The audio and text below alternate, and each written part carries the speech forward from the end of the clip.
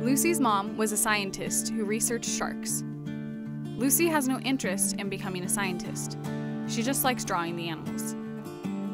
But when a great white shark washes up on their shores and those around her seem to be falling apart, Lucy decides to learn more about her mother's research in an effort to tie them all together.